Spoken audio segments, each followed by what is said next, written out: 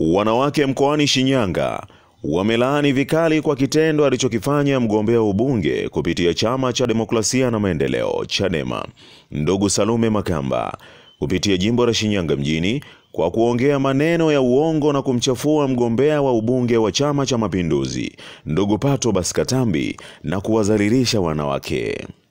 Naye mwakilishi wa wanawake mkoani Shinyanga na mwenyekiti wa jumuiya ya wanawake Tanzania mkoani Shinyanga kupitia Chama cha Mapinduzi, ndugu Shumbuu Yusufu amelaani vikali maneno ya uongo yaliyozungumuzwa na Salome Makamba na kumtaka aombe radhi kwa wanawake wote wa Shinyanga. Mimi kwa jina naitwa Katani, ndio mwenyekiti wa jumuiya ya wanawake Tanzania wanaotokana na Chama cha Mapinduzi wilaya ya Shinyanga mjini.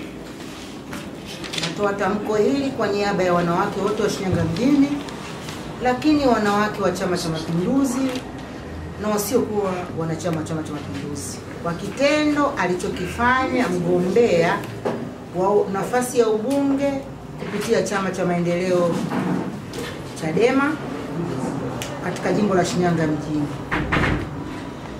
kwa lugha ya kashfa na udhalilishaji aliyoutoa dhidi ya wanawake wenzie, lakini akisahau kwamba na yeye ni mwanamke,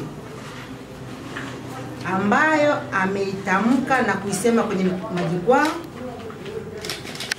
kitu ambacho amesema kitu cha uongo. Mimi nalisema hili na ninakiri kwa sababu Patrobas Katami, mgombea wa nafasi ya ubunge jimbo la Shinyanga mjini, katika ziara zake zote, mikutano yake yote ya ndani na nje, toka siku ya kwanza alipoanza, nimekuwa nikiambatana naye, lakini sikuwahi kulisikia jambo hili hata siku moja analolieneza mgombea Salome Makamba wa Chadema kwamba Patrobas Katambi amewatukana wanawake kwa kulitamka. Mimi naomba nitamke kwa sababu ni mwanamke.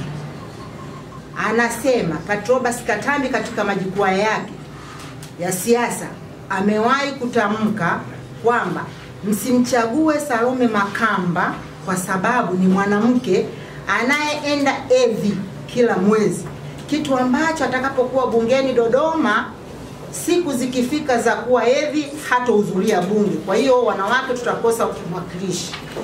Nalaani sana, nalaani vikali, na ninawaomba wanawake wa Shinyanga na hasa jimbo la Shinyanga mjini tumpuuze, kwa sababu anafanya siasa za uongo, za unafiki, lakini za uchonganishi.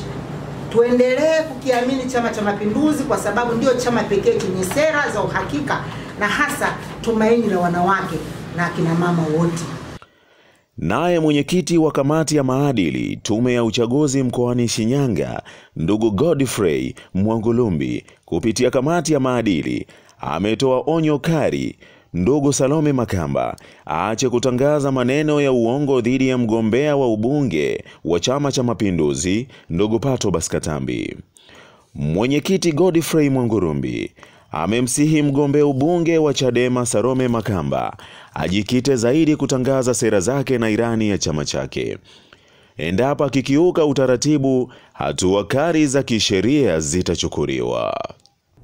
Kwa hiyo kamati ya maadili imefikia uamuzi wa kumpa onyo aache kutangaza hayo maneno na ajikite kwenye kutangaza sera zake, na hili ni onyo ukaripio kali kwamba ikisikika anatangaza au anaeneza tena uongo, basi kamati ya maadili itachukua hatua kali zaidi, kwa sababu tusingependa huu mchezo wa kukashifiana tumia lugha chafu ukawa unaendelea, badala ya watu kuongea sera za vyama vyao, ilani zao, ili wananchi wapate kujua sera ipi nzuri, nani anaweza kuaminika na kuitekeleza na si vinginevyo. Kwa hiyo kwa habari hiyo ya kuwahusu wanawake sio kweli, kwa sababu ime, imekosa ushahidi na kwa sababu hiyo imetolewa onyo ikomeshwe mara moja. Kwa hiyo nitoe tu kwa ujumla angalizo, e, vyama vyote vizingatie maadili ya uchaguzi. E, tunataka pia vyama vyote kwamba visitishe makundi yasiyo rasmi, visitishe kujihusisha na vikundi vya uhalifu, ili wananchi wawe na uamuzi unaofahamika bila shaka.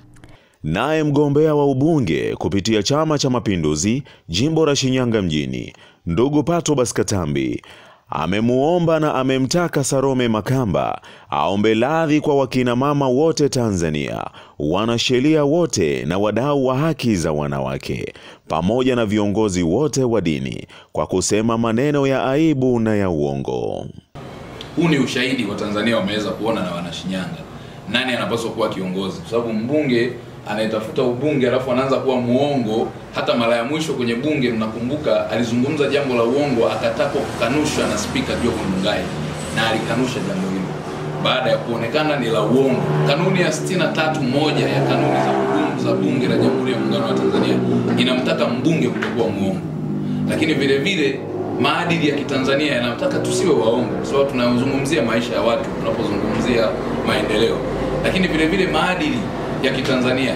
Sasa unaposema jambo la uongo zidi ya Katambi ili upate kura za huruma za wanawake, lakini wanawake umewachafua.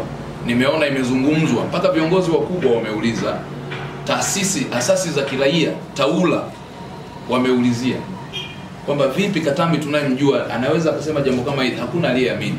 Kituo cha Sheria na Haki za Binadamu kina dada Ana Henga kwenye grupu, kwenye mazungumzo yao walilizungumza jambo hili na wakashangaa.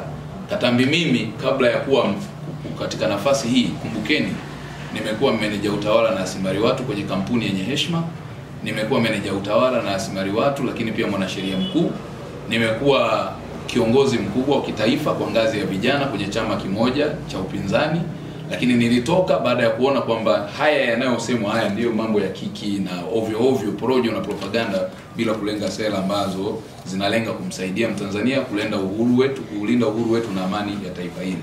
Lakini vile vile nimekuwa mkuu wa wilaya wa nchi hii, ninafahamu sheria, taratibu na kanuni, na zaidi ya hapo ni mwanasheria.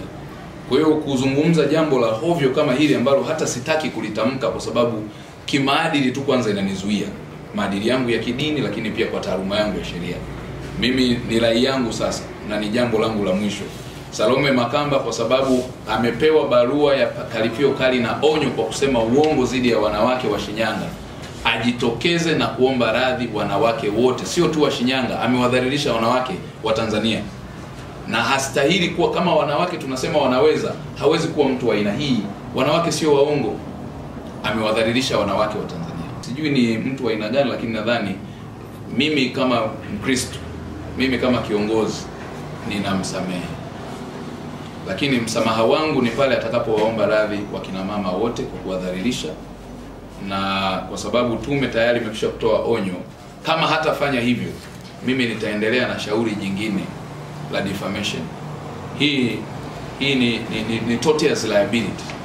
Unaposema mtu fulani na unamtangaza majukwani, Katambi kasema hivi kasema hivi kwa jambo la uongo, hii ni kesi ya kashfa kwa maamuzi haya nitayatumia dhidi ya mahakama za Jamhuri ya Muungano wa Tanzania ili alipe fidia, kwa sababu Katambi sio mtu wa kumchafua ovyo. Naye mgombea wa ubunge kupitia chama cha demokrasia na maendeleo Chadema, ndugu Salome Makamba athibitisha kuwa alishindwa kuleta ushahidi wa sauti na video aliyoombwa na kamati ya maadili. Kwa hiyo nimeitwa kwenye kamati ya maadili nikawaeleza, lakini mkurugenzi akasisitiza kwamba nilete video. Sasa mimi sio mwandishi wa habari wala mimi sio siendi kwenye mkutano wa Chama cha Mapinduzi, hata taratibu haziniruhusu sababu nitaita tafurani. Kwa hiyo hatukupata video, lakini ushahidi wa mtu aliyeona na kusikia ni ushahidi sahihi kuliko hata video. Lakini mkurugenzi ametupilia mbali, hataki ku, ku, watu wakatoe ushahidi, badala yake amejadili kesi yangu bila kusikiliza mashahidi.